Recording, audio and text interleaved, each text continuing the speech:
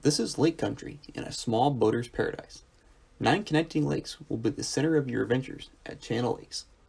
Paddle through the chain of serene Kettle Lakes. Hike the 23 miles of forested trails.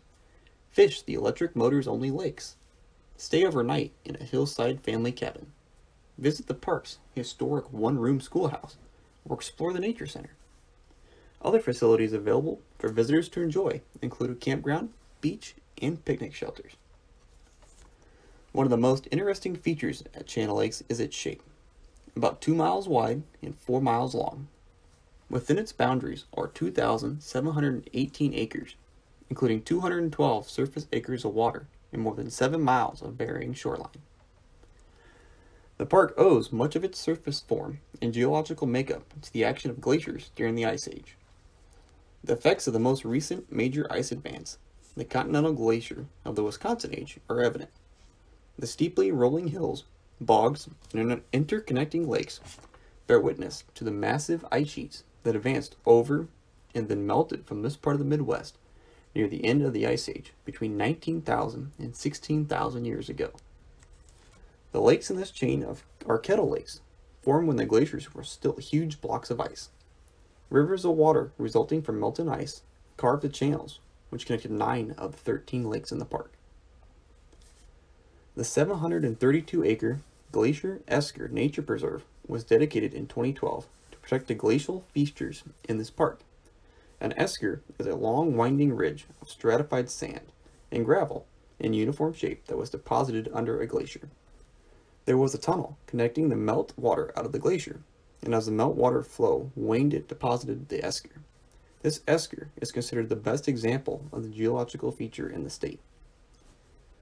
Before settlement by pioneers, the area was inhabited by Native Americans.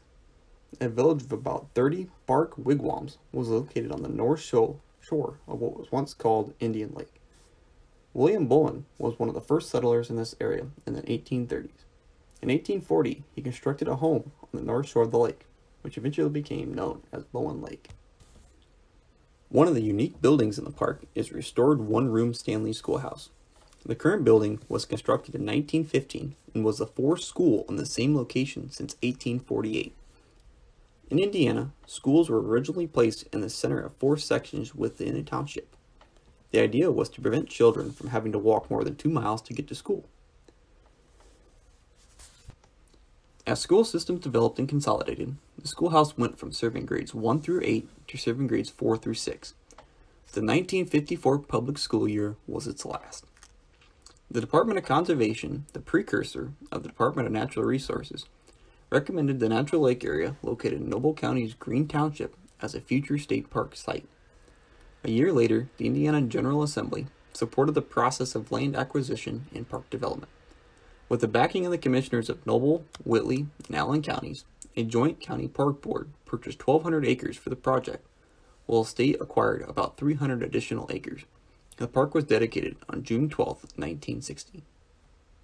When Chain O'Lakes State Park was being established in the 1950s, the area was populated by farms, mostly orchards and pastures, and families with lake cabins. Today, there are 18 modern cabins in a 413 site shaded campground with electrical service. I hope you come and visit my favorite place to go, and that place is Chain O'Lakes State Park.